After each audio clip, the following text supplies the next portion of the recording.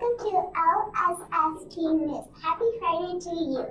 Have you noticed that the running squad has challenged your school to run or walk 1,000 miles by May?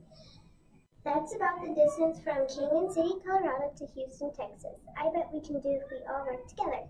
The Seasons Peppers would like to thank our amazing PTO for, for purchasing a green screen, which makes it easier to create the LSST newscast.